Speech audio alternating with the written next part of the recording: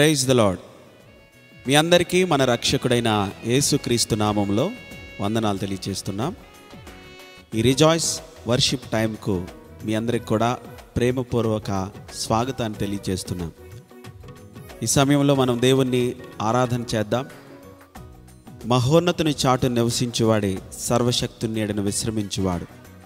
ఆయనే నాకు ఆశ్రయము నా కోట నిన్ను నమ్ముకొను నా దేవుడని నేను యహోవాను గూర్చి చెప్పుచున్నాను. ఆయన చాటున నివసించే వారందరూ కూడా భద్రపరచబడతారు దీవించబడతారు ఆయన ద్వారా పోషించబడతారు. మరి ఈ సమయంలో మనం దేవుణ్ణి ఆరాధన చేస్తుండగా మరి ఈ ఆరాధన ఆయన సన్నిధికి చేరి మరలా ఆశీర్వాదాలు మన మీద కృమ్మరించబడాలని మా యొక్క ఉద్దేశం. మీ అందరి క్షేమం కొరకు ప్రతిదినం కూడా మేము ప్రార్థిస్తూ ఉన్నాం. మీరు కూడా మా కొరకు ప్రార్థిస్తున్నారని మేము విశ్వసిస్తున్నాం. మరి ప్రార్థనతో యొక్క రిజాయిస్ వర్షిప్ టైంను ప్రారంభించుకుందాం. ప్రార్థన చేద్దాం. మహిమగల తండ్రి పరిశుద్ధుడైన ప్రభువ నిత్య నివాసి మీ నామానికి స్థుతులు స్తోత్రములు వందనములు చెల్లిస్తున్నాం. ఈ సమయంలో పాటల ద్వారా నిన్ను మహిమపరచుచుండగా నాయన పరిశుద్ధాత్మ నడిపింపును మాకు అనుగ్రహించండి. ఈ ఆరాధన ద్వారా మీరే మహిమ పొందమని ప్రార్థిస్తున్నాం. ఈ ఆరాధనలు ఏకీభవించి నేను మహిమపరుస్తున్న నీ బిడ్డలందరినీ కూడా మీరు ఆశీర్వదించండి. ప్రతి ఒక్కరిని దీవించండి. అందరికీ ఆరోగ్యమును దయచేయండి. స్వస్థతను విడుదలను రక్షణను దయచేయండి. మహిమ ఘనత ప్రభావములు మీరే పొందమని ఏసు నామమున అడుగుచున్నాను తండ్రి. ఆమెన్. నీ చిత్తమే నాలో నెరవేర్చిన దేవా నీ సేవకై నన్ను పిలిచిన ప్రభువ ఈ పాటతో ప్రభు నామాన్ని మహింపరుద్దాం.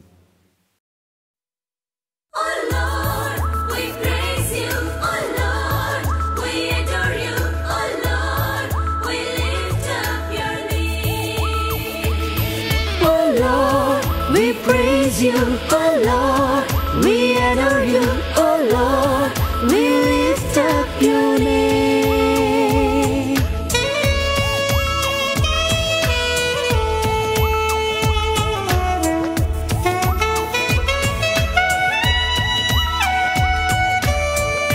నీ చిత్తమే నాలో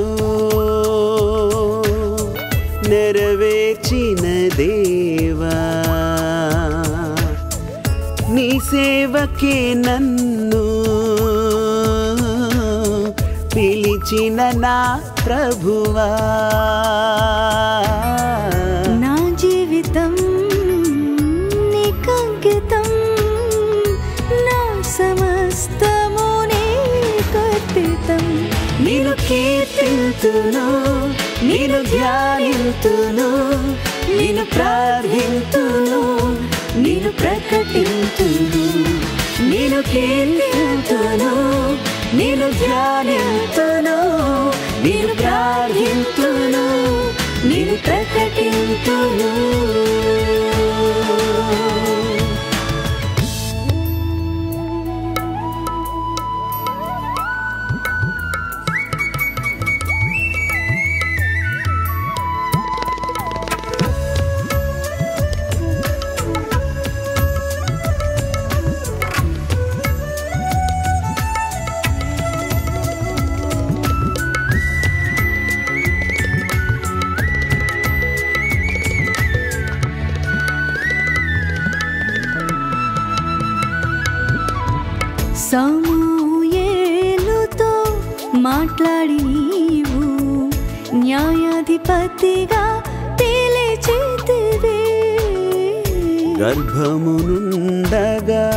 ఇర్మియాను నీ ప్రవక్తగా చేసితివి. నన్ను పిలిచిన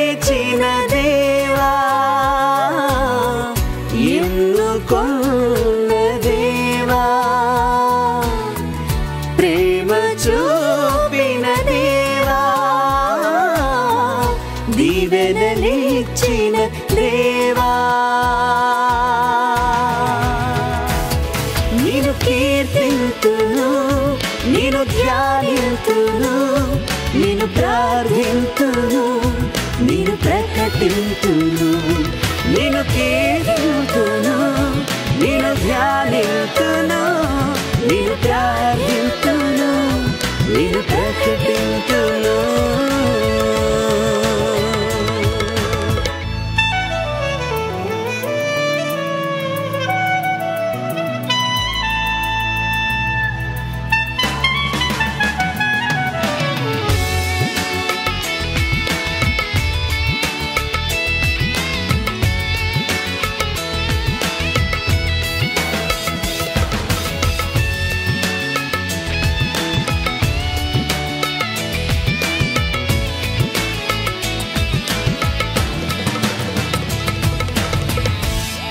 పేతురుతో నీవు మాట్లాడేటివి నా సంఘమును కట్టుమనే సౌలును పిలిచి పౌలుగా మార్చి నీ రూపములో నిలిపెడితివే.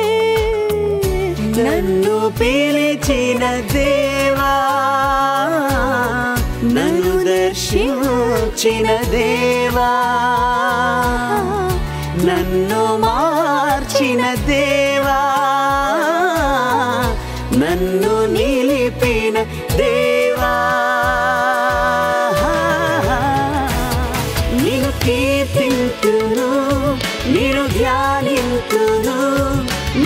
నిన్ను నేను ప్రకటింతును నేను కీర్తింతును నేను ధ్యానింతును నేను ప్రార్థింతును నేను ప్రకటింతును.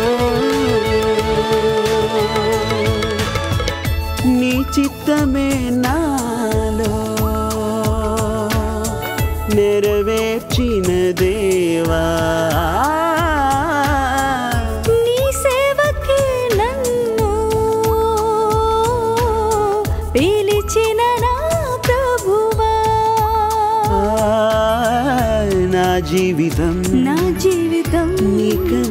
నీకంకితం నా సమస్తము నీకర్పితం నేను కీర్తింతును నేను ధ్యానితును నేను ప్రార్థితును నేను ప్రకటింతును నేను కీర్తితును నేను ధ్యానితును నేను ప్రార్థితును నేను ప్రకటితును.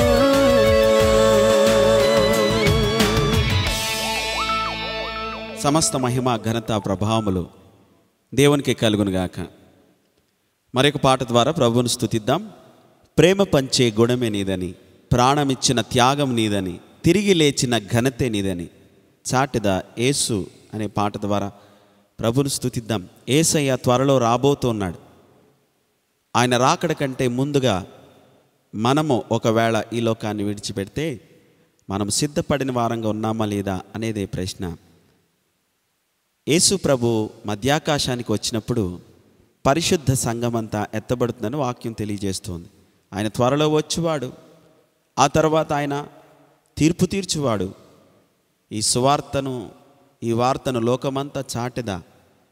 ఆయన ప్రేమ అమరం అత్యద్భుతం. ఆయన కృప మన జీవితంలో మనకు చాలును. ఆయన రక్తమిచ్చి మనల్ని రక్షించి పరిశుద్ధ జనముగా ఏర్పరచుకున్నటువంటి ప్రభువును బట్టి మనము సంతోషిస్తూ ఈ పాట ద్వారా ఆయన మహిమపరుద్దాం ప్రేమ పంచే గుణమేనిదని ఈ పాటతో ప్రభును స్థుతిద్దాం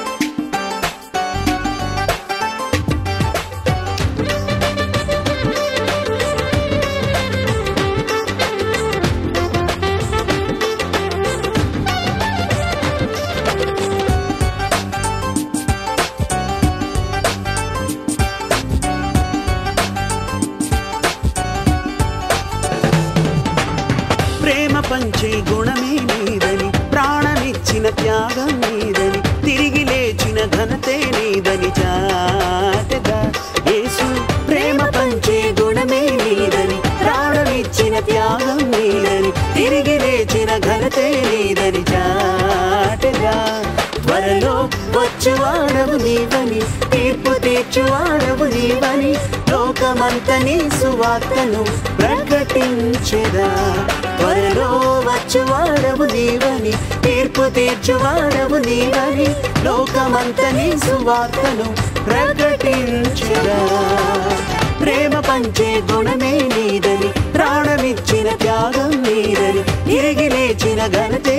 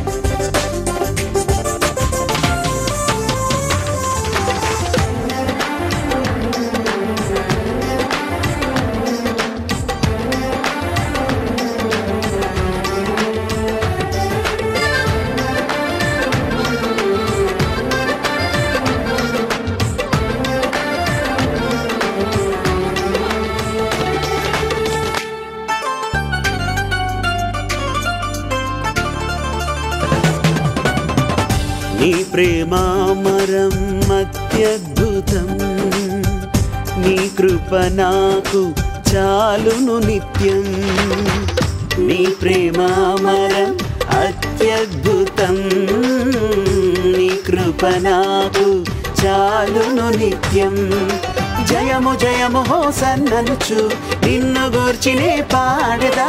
యేసు ప్రేమకు సాటి లేదని వివరించుదా? జయము జయము హోసన్ననుచు నిన్ను గూర్చినే పాడదా? యేసు ప్రేమకు సాటి లేదని వివరించుదా? ప్రేమ పంచే గుణమే నీదని ప్రాణమిచ్చిన త్యాగం నీదని తిరిగి లేచిన ఘనతే నీదని జాటగా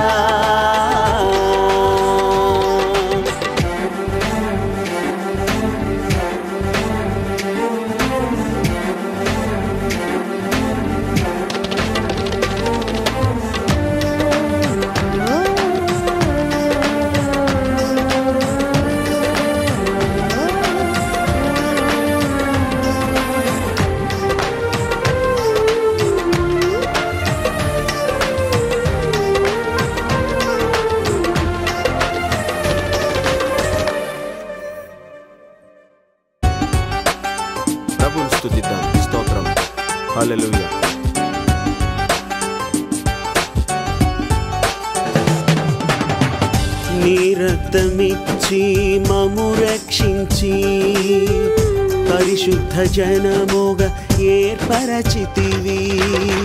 నీ రక్తమిచ్చి మము రక్షించి పరిశుద్ధ జనముగా ఏర్పరచితివి. ఎత్తబడదము నా కడలో జీవింతుము కలకాలం. సర్వజనులు నిన్ను నమ్మాలని ప్రార్థించురా ఎక్కబడదము రాకడలో జీవింతుము కలకాలం సర్వజనులు నిన్ను నమ్మాలని ప్రార్థించురా. ప్రేమ పంచే గుణమే నీదని ప్రాణమిచ్చిన త్యాగం నీదని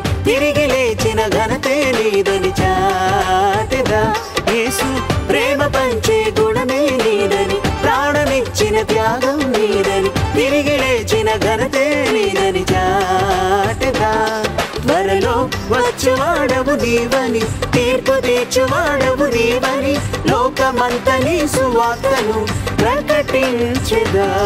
త్వరలో వచ్చువాడవు నీవని తీర్పు తీర్చువాడవు నీవని లోకమంత నీ సువార్తను ప్రకటించదా. ప్రేమ పంచే గుణమే నీదని ప్రాణమిచ్చిన త్యాగం నీదని తిరిగి లేచిన ఘనతే నీదని.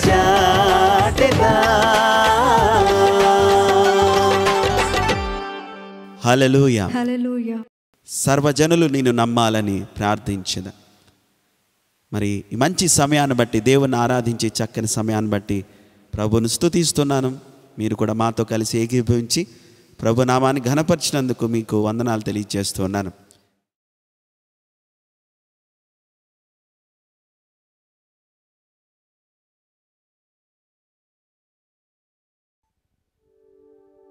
హాలెలూయా మరొకసారి మీ అందరికీ కూడా ఈ రిజాయిస్ వర్షిప్ టైం వాక్య సమయానికి ఆహ్వానం తెలియజేస్తున్నాను ఈరోజు మన ధ్యానాంశం మొదటి యోహాను పత్రిక రెండవ అధ్యాయము పదిహేనవ వచనం నుండి పదిహేడవ వచనం వరకు చదువుకుందాం.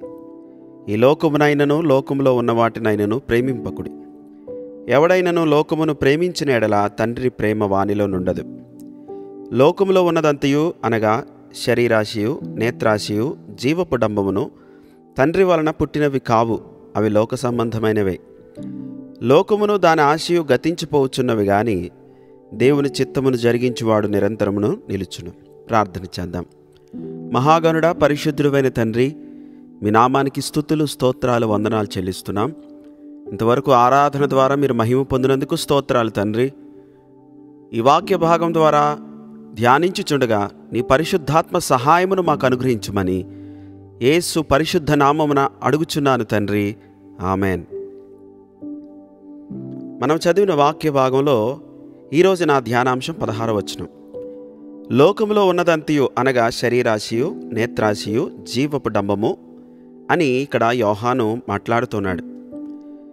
మరి ఇవి తండ్రి వలన పుట్టినవి కాదు అవి లోక సంబంధమైనవి అని మాట్లాడుతున్నాడు. చూడండి లోకంలో ఉన్నదంతా కూడా మూడు విషయాలు చెప్పగలిగితే అది శరీరాశ నేత్రాశ జీవపుడంబంగా మనకు కనబడుతోంది. పదిహేనవచనం మనం గమనిస్తే ఈ లోకమునైనను లోకములో ఉన్న వాటినైనను ప్రేమింపకుడి అని భక్తుడు మాట్లాడుతున్నాడు. అనగా పరిశుద్ధాత్మదేవుడు మాట్లాడుతూ ఉన్నాడు. ఎవడైనను లోకమును ప్రేమించిన ఎడల తండ్రి ప్రేమ వానిలో నుండదు అని చెప్తున్నాడు. అనగా ఈ లోకాన్ని కానీ ఈ లోకములో ఉన్నవాటిని కానీ ప్రేమించకూడదు అని దేవుని వాక్యము స్పష్టంగా తెలియచేస్తోంది. ఈ లోకంలో శరీరాశ నేత్రాశ జీవపడము ప్రతి మానవుని కూడా దేవుని నుంచి వేరుపరుస్తుంది. మరి శరీరాశ నేత్రాశ జీవపడంబాల గురించి మనం ఆలోచన చేసినప్పుడు అందరికీ శరీరాశలు ఉంటాయి నేత్రాకర్షణ ఇవన్నీ కూడా సహజంగా కనబడుతుంటాయి. కానీ దేవుడు వాటిని వర్గీకరిస్తున్నాడు.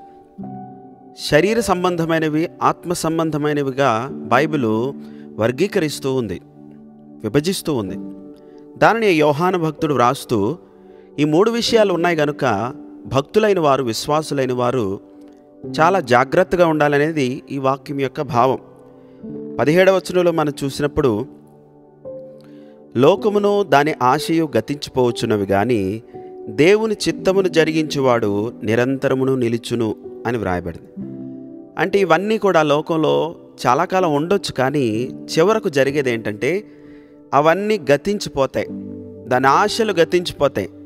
ఒక రోజున అవి కనబడకుండా మాయమైపోతాయి. కానీ దేవుని చిత్తాన్ని ఎవరైతే జరిగిస్తారో వారు నిరంతరం నిలుస్తారు. అనగా నిరంతరము దేవునితో జీవిస్తారు అని అర్థం. ఈ మూడు వచనాల యొక్క భావాన్ని మన జీవితంలోకి మనం తీసుకుంటే ఒక విశ్వాసి ఒక క్రైస్తవుడు తప్పక దేవుని యొక్క ఆజ్ఞలను పాటించాలి.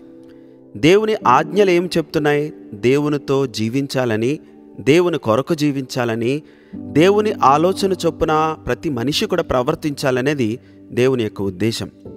కానీ చాలామంది మానవులు ఏం చేస్తున్నారంటే దేవుని యొక్క చిత్తాన్ని ఎరుగక వారి స్వకీయమైనటువంటి ఆశల వైపు వెళ్ళిపోతున్నారు అని వాక్యం తెలియచేస్తుంది. దానిని మూడు భాగాలుగా ఇక్కడ మనం చూస్తున్నాం.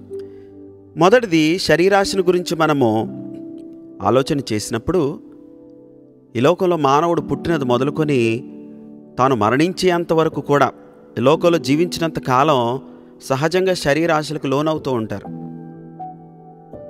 అందుకే వాక్యంలో రాయబడింది నీ బాల్య దినములందే నీ సృష్టికర్తని స్మరణకు తెచ్చుకో. బాలుడు నడవవలసిన త్రోవను వానికి నేర్పుము. వాడు పెద్దవాడైనప్పుడు దాని నుండి తొలగిపోడు. తల్లిదండ్రులకు దేవుడిస్తున్నటువంటి ఆజ్ఞ ఏంటంటే మన పిల్లలు కానీ మనం కానీ దేవుడు చెప్పినట్టుగా మనం జీవించాలంటే ఈ లోక ఆశలకు దూరంగా జీవించాలంటే మనం ఏం చేయాలంట దేవుని వాక్యానుసారంగా దేవుని మార్గంలో ఆయనను ఎల్లప్పుడూ కూడా జ్ఞాపకం చేసుకునే జీవితం మనకు కావాలి. అయితే ఈ మూడాంశాల్లో మొదటిది శరీరాశను గురించి ఆలోచన చేసినప్పుడు శరీరాశ దేవుని నుండి మనల్ని వేరు చేస్తుంది. దేవునికి దూరంగా తీసుకుని వెళ్ళిపోతుంది. శరీరాశలు కలిగిన వారు దేవుని యొక్క చిత్తాన్ని నెరవేర్చలేరు. ఎందుకంటే తమ శరీరం కొరకే ఈ లోకం కొరకే ఎప్పుడు కూడా ఆలోచన చేస్తూ ఉంటారు. దేవుని మాటలు కానీ దేవుని చిత్తం కానీ వారికి రుచించదు. దేవుని వాక్యం ఇంకా చాలా స్పష్టంగా శరీర క్రియలు ఏ రీతిగా ఉంటాయి కూడా వాక్యంలో రాయబడింది. గలతీ పత్రికలో కూడా మనం చూసినప్పుడు గలతీ పత్రికలు ఏం రాయబడిందంటే ఐదవ అధ్యాయము పంతొమ్మిదవ వచ్చినాన్ని మనం చూసినప్పుడు గలతీ పత్రికలో శరీర కార్యములు స్పష్టమై ఉన్నవి.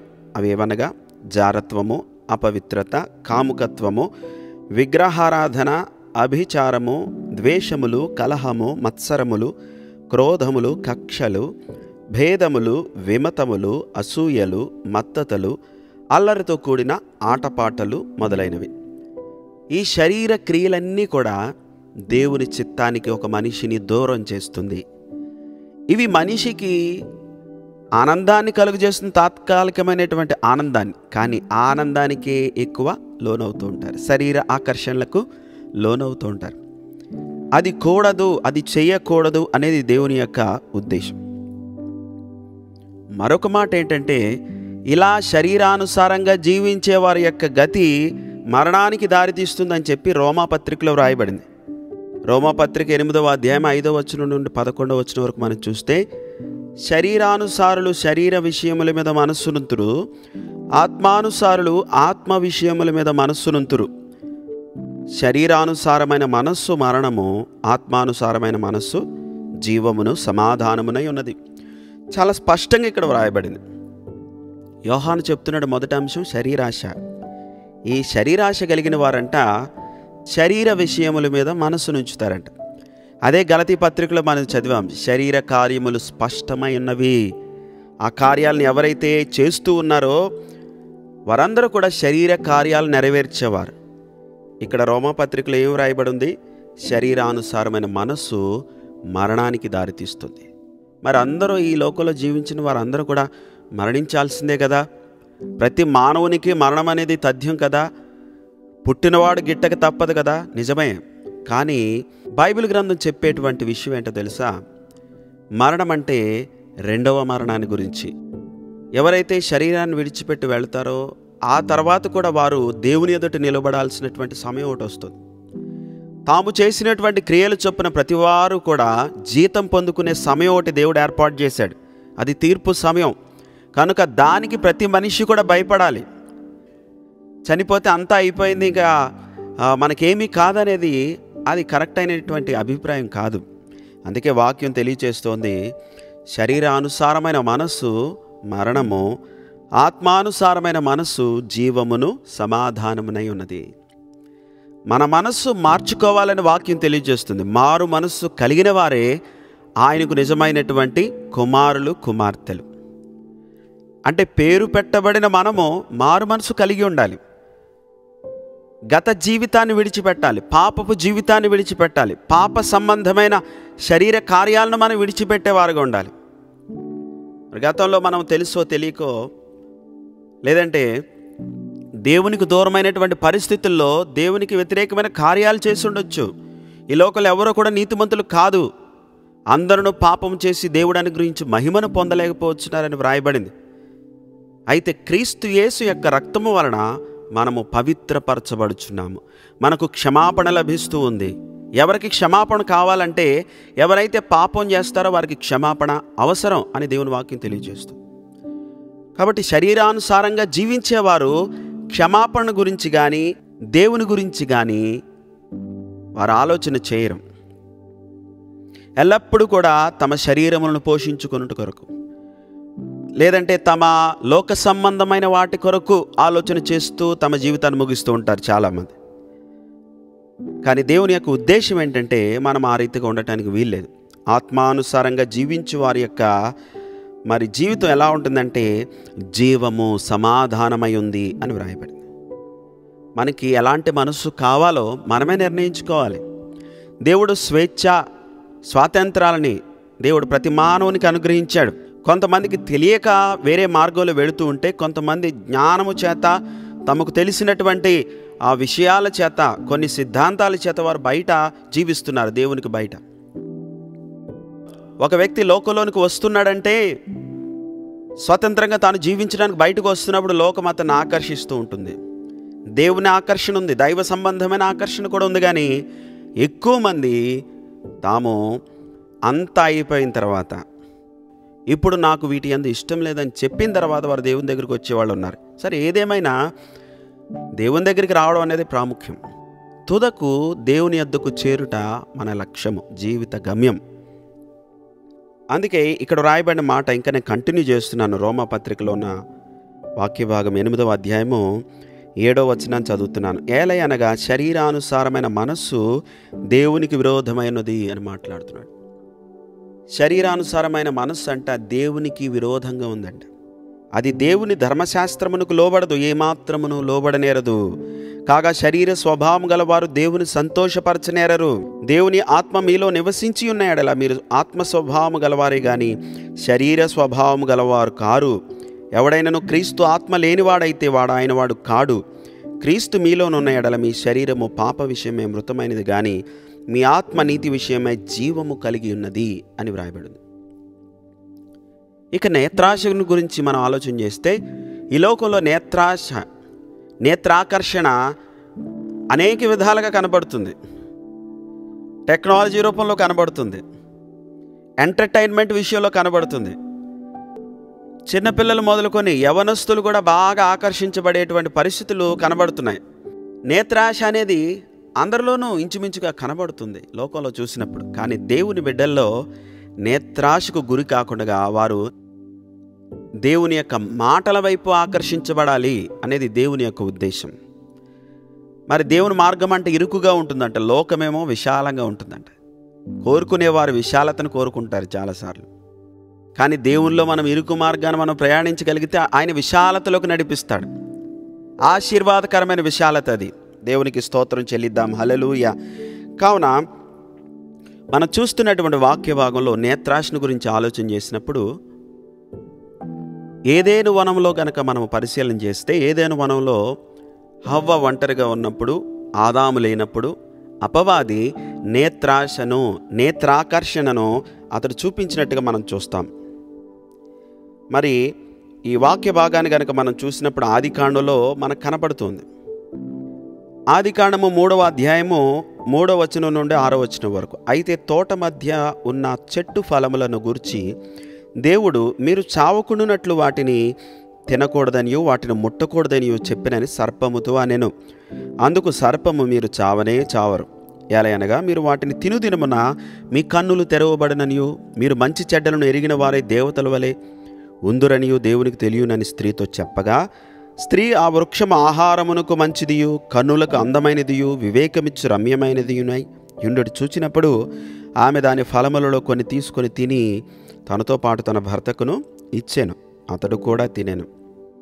హవ్వ తాను తలంచుకున్నటువంటి తలంపు ఏ రీతిగా ఉందంటే ఒక ఆకర్షణ నేత్రాకర్షణ అక్కడ కనబడుతుంది.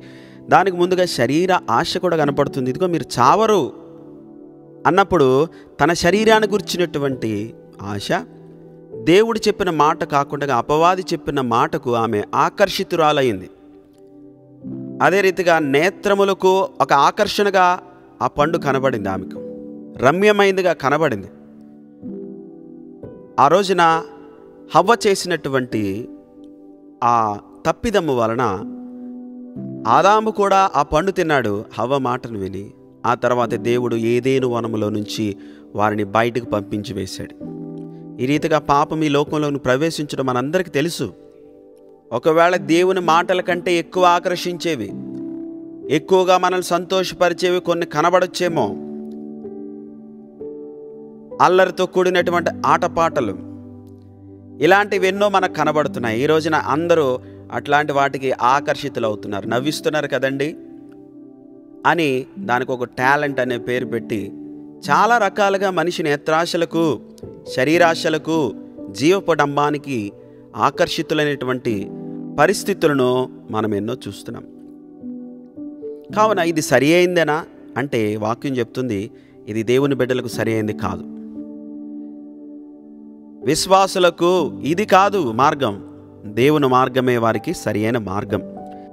మత్తేసు వార్త నాలుగో అధ్యాయం మొదటి వచనం నుండి పదకొండు వచనాలు చూసినప్పుడు అప్పుడు యేసు అపవాది చేత శోధింపబడుటకు ఆత్మ వలన అరణ్యమునకు కొనిపోబడిను. నలవది దినములు నలవది రాత్రులు ఉపవాసం ఉండిన పిమ్మట ఆయన ఆకలిగొనగా ఆ శోధకుడు ఆయన ఎద్దుకు వచ్చి నీవు దేవుని కుమారుడు అయితే రాళ్ళు రొట్టెలగునట్లు ఆజ్ఞాపించమనెను.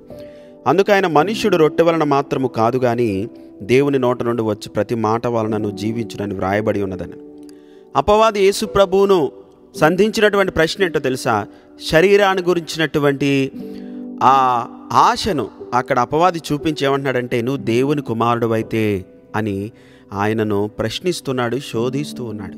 ఆయన దేవుని కుమారుడే. అంటే ఆయనకు ఒక పౌరుషాన్ని రప్పించడానికో ఆ కార్యాన్ని బలవంతంగా చేయడానికో ప్రయత్నం చేస్తున్నాడని మనం అర్థం చేసుకోవాలి. అప్పుడు యేసుప్రభు వారు చెప్పిన మాట ఏంటో తెలుసా? మనుషుడు రొట్టె వలన మాత్రము కాదు కానీ దేవుని నోట నుండి వచ్చి ప్రతి మాట వలనను జీవించును అని వ్రాయబడి ఉన్నదనెను ప్రభు చెప్పిన మాట ఏంటంటే ఆయన వాక్యములో ధర్మశాస్త్రములో ఉన్నటువంటి మాటను అపవాదికి జవాబుగా ఇచ్చాడు. ఈరోజున మన శోధనను ఎదుర్కోవడానికి వాక్యాన్ని మన హృదయంలో బాగా నింపుకున్నప్పుడు ప్రతి ప్రశ్నకు ప్రతి శోధనకు జవాబు వాక్యంలోంచి మనకు దొరుకుతుంది. ద్వితీయోపదేశకాండం ఎనిమిదో అధ్యాయం మూడవ వచనంలో చూసినప్పుడు ఇదే వాక్య భాగాన్ని అక్కడ చూస్తాం. మనుష్యుడు రొట్టె వలన మాత్రం కాదు దేవుని నోట నుండి వచ్చి ప్రతి మాట వలన జీవిస్తాడని. ఇది చాలా సత్యం. చాలామంది అనుకుంటారు మనం ఆహారం వలన జీవిస్తున్నాం మనకున్న మంచి ఆహారాన్ని బట్టి మంచి వస్త్రాలను బట్టి మంచి సంపదను బట్టి ధనాన్ని బట్టి ఉద్యోగాన్ని బట్టి మనకున్న ఆ జ్ఞానాన్ని బట్టి మనం జీవిస్తున్నాం మన స్వయం కృషి. ఇంకా ఈ రీతిగా అనుకుంటూ వారు తమ జీవితంలో దేవుని మర్చిపోయేటువంటి అనుకుంటూ వారి జీవితంలో దేవునికి స్థానం ఇవ్వకుండా తమ ఎబిలిటీని బట్టి దేవునికి స్థానం ఇవ్వకుండా దేవునికి స్థానం ఇవ్వకుండా తమ ఎబిలిటీస్ని బట్టి వారు అతిశయిస్తూ ఉంటారు. కానీ ప్రభు చెప్పిన మాట ఏంటంటే దేవుని మాట వలన ఒక వ్యక్తి జీవిస్తాడు. ఆహారం వలన మాత్రమే కాదు అనగా రొట్టె వలన మాత్రమే కాదు. అంటే రొట్టె వలన కూడా జీవిస్తాడు కానీ అంతకంటే ఇంకొకటి ఉంది.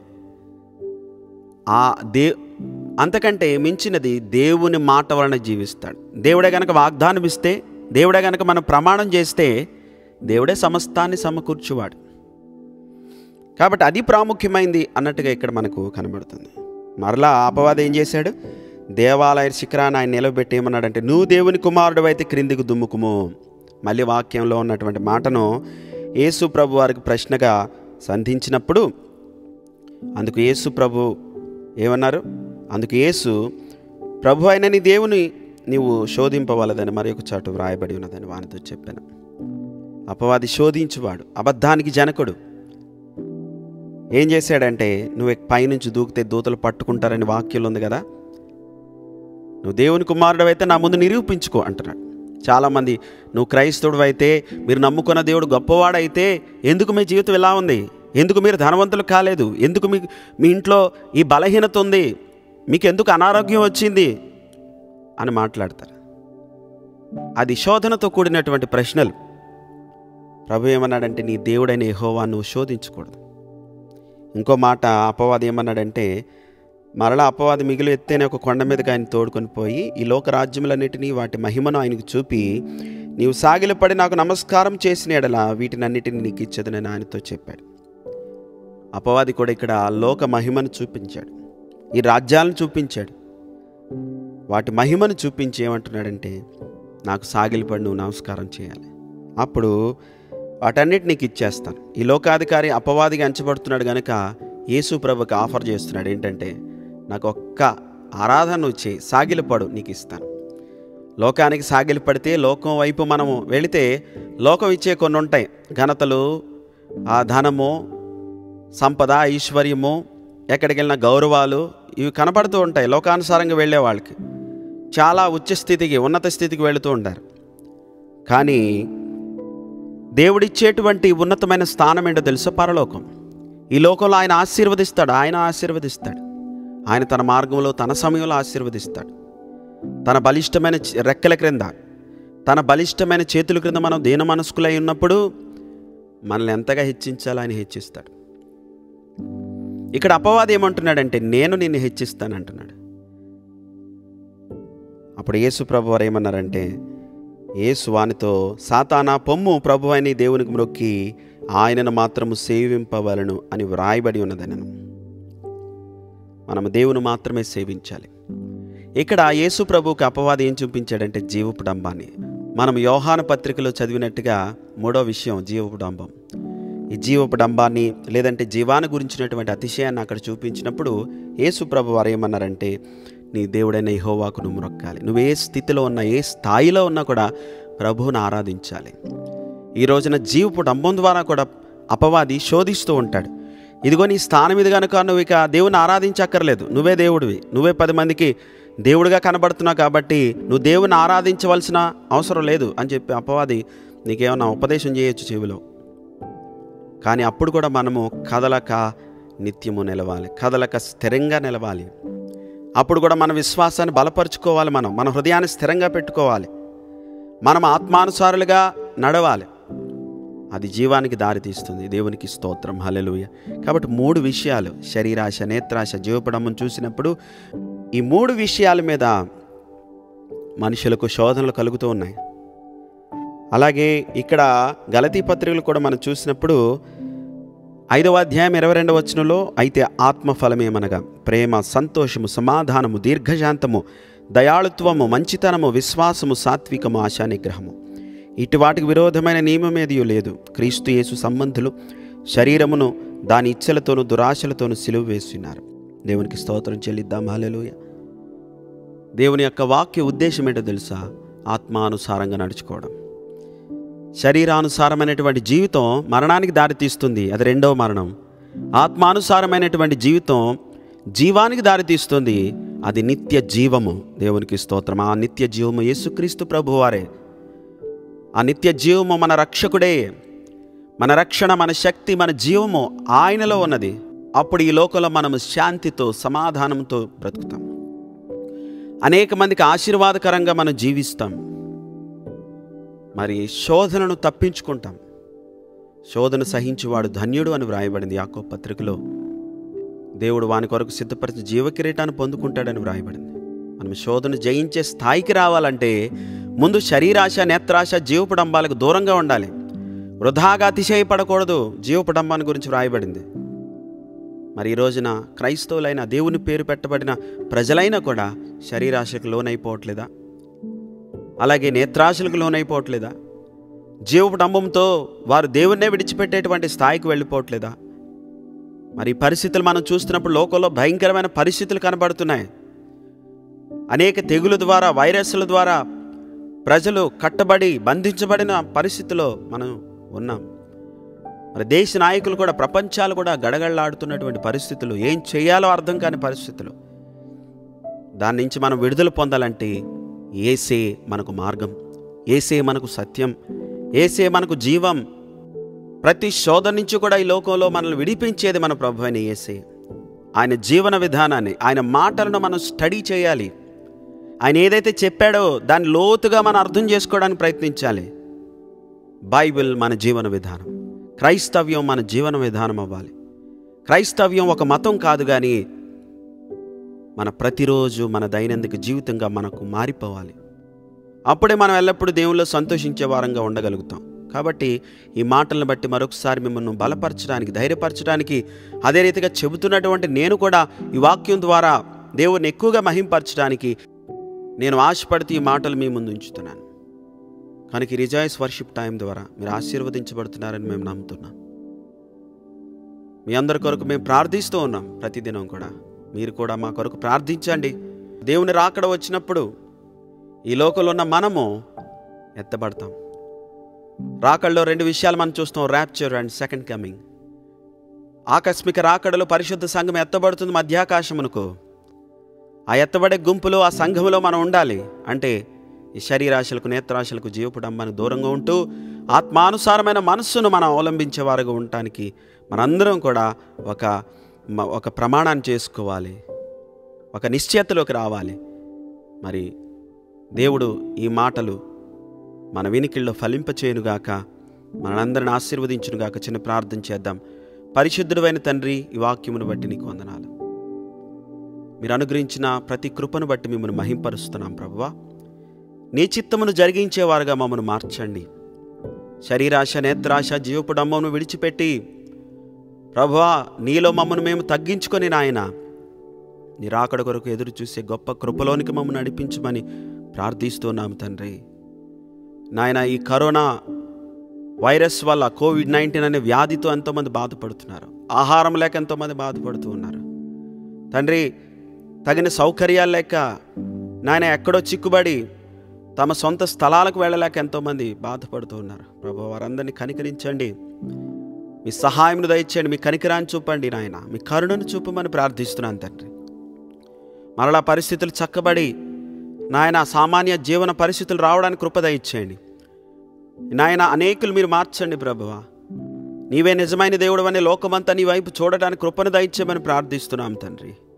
ఎలాంటి పరిస్థితుల్లోనైనా ప్రభువ మేము మీ కొరకు జీవించడానికి నాయన నిత్య జీవమును ప్రభువ మేము కాపాడుకొని తండ్రి అనేకులకు నేను ప్రకటించే కృపలోకి మమ్మల్ని నడిపించుమని. స్వస్థత విడుదల రక్షణ ప్రతి ఒక్కరికి దయచేయండి. నాయన మీకు స్తోత్రాలు చెల్లిస్తున్నాను. రక్షణ గురించిన సంపూర్ణ నిశ్చేతలోకి నేను ప్రజలను నడిపించండి. ఏసయ్య పరిశుద్ధ నామల్ని ప్రార్థన అడుగుచున్నాను తండ్రి. ఆమెన్.